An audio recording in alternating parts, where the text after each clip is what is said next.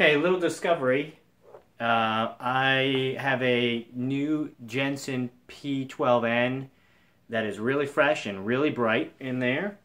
Uh, what you see on the front of the uh, cloth is a cork uh, coaster. I think we got a set off of Amazon for a couple of bucks, had an extra one, and on the back side of it is painter's tape so it won't mar or mark up the uh, grill cloth. But here's what sounds like uh, going straight to the jack, so maximum bright, uh, using the Esquire.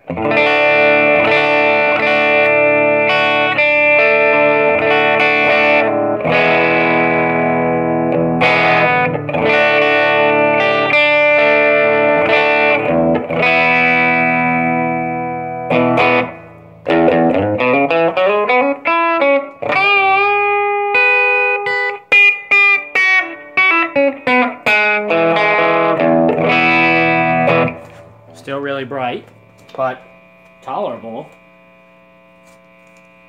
Painter's tape, use the good stuff, otherwise it might leave some gook. Same thing. Now, I don't know if that's coming through, but it, is really bright uh, to a point where it hurts the ears.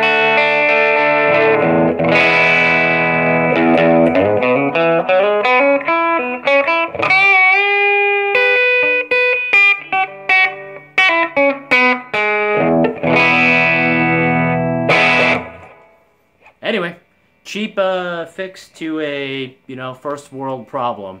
Uh, but again, if you used uh, probably cardboard, cut a circle, use some painter's tape. Um, I actually have some leftover brown fabric, so I could make it match. But again, long and short is if you block the center of the cone, where a lot of the bright comes from, uh, you can basically have your own homemade uh, you know, Weber beam blocker, uh, which will help.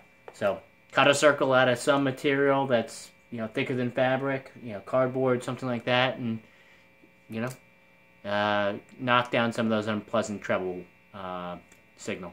All right, hope this was helpful.